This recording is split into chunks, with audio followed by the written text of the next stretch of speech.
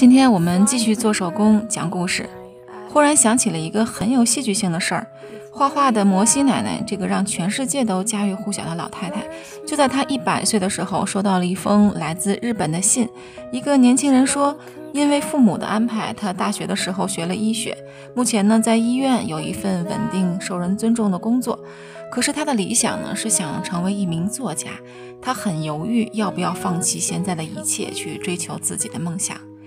这个年轻人很幸运，他不仅仅得到了摩西奶奶亲笔回信的鼓励，而且他真的成为了一名优秀的作家。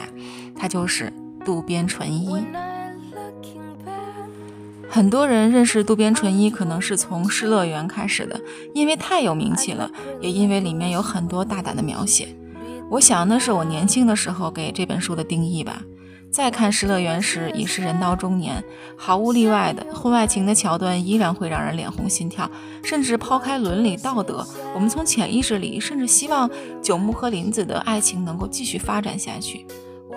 可是故事继续下去，你会发觉心情却变得越来越糟糕了，幸福感也在一点一点的消失，好像自己已经被带入了一种情境，成为了第一人称的男女主人公。细想之下，嗯，我发觉好像作者一直都在做细致的铺垫，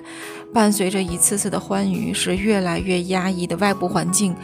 来自于工作、生活、配偶、朋友、家人等等的诸多不如意，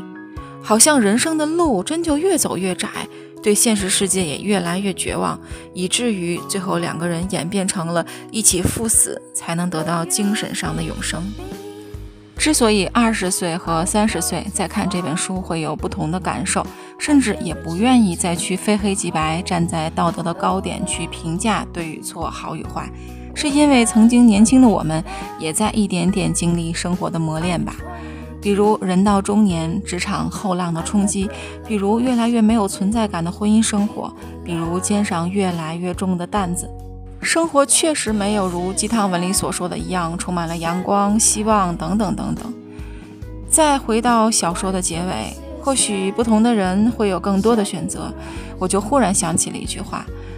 假如时间可以重来一次，你会不会可以避开某个时间、某个地方、某个人呢